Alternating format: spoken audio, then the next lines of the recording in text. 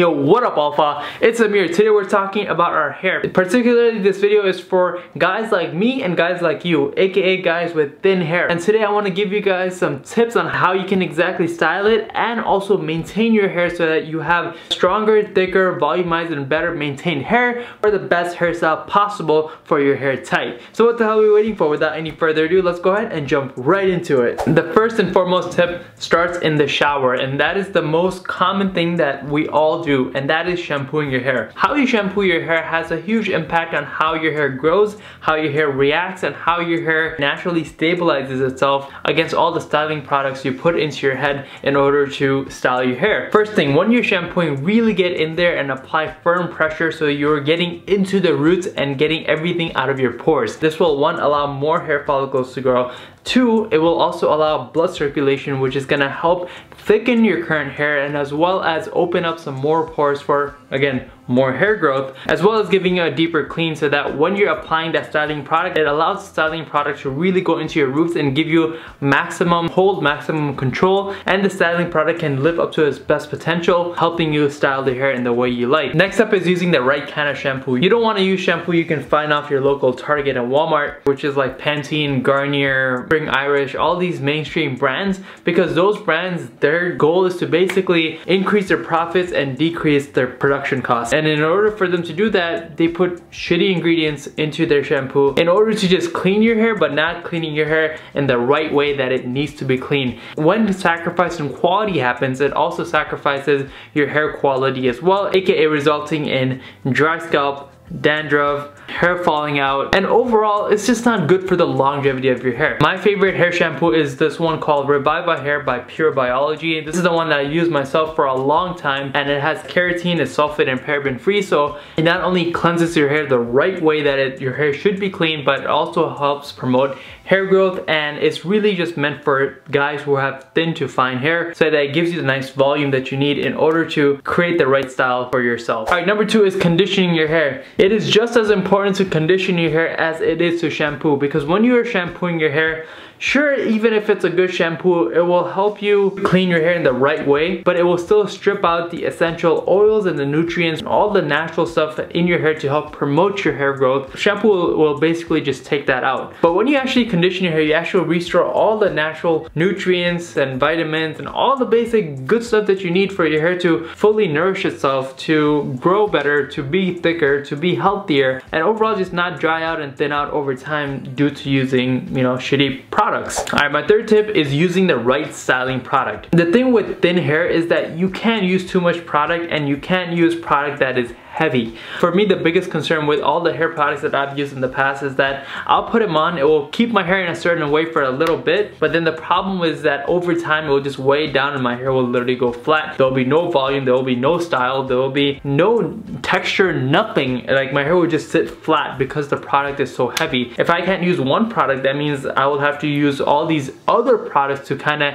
enhance that. So that means I'd be using sea salt spray, um, the pomade, the wax, the putty, and layering it all on top with a hairspray. And that is horrible for your hair because it is not letting your hair breathe. And if you're forcing your hairstyle, there are two things that might be happening. One, that might be not the right hairstyle for your hair type or two you're using the wrong product. After getting frustrated time upon time on how my hair reacts to the mainstream products that are out there you know I was just like okay this is just not working out and I know I'm not the only one with this problem. So what I did is actually went ahead and created my own hair product. I have it on right now. This is literally the perfect thing I've ever ever ever used in my life. And I'm not even lying like there's no bias nothing. Like I've used a lot of hair products in my life, but this, in my opinion, beats all of it. The reason why it has a very light and flexible hold and it's not so heavy on your hair where to the point where it just weighs it down. For me, it helps my hairstyle just stay up and nice with decent volume and provides me a good hold. And the best part about this Flux Pomade is that it is made out of a 100% organic extract. So when you're putting this in your hair, it's not only giving you the right style, the right control and volume and all the goodies that you need for a good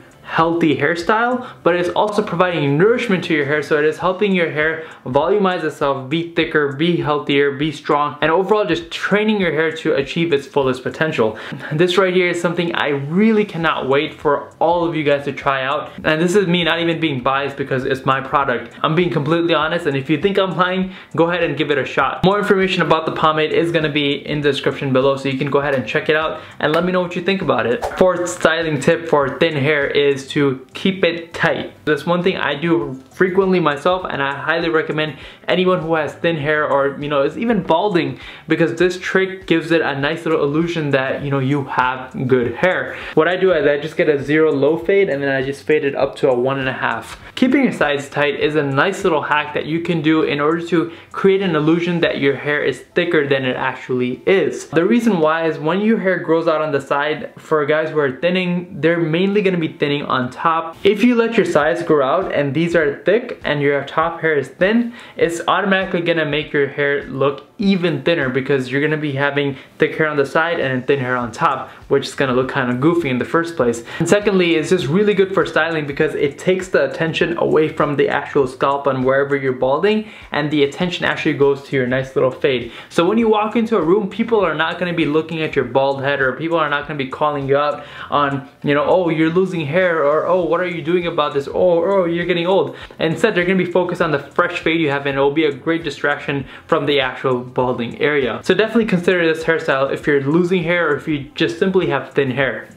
Number four, take supplements. Supplements are your best friend when it comes to dealing with balding or just dealing with trying to make your hair thicker so that it reacts better when you're styling it. So what supplements should you take for your hair? Well, the answer is you can go into a lot of supplements, but the simplest and the easiest and the most popular one is biotin.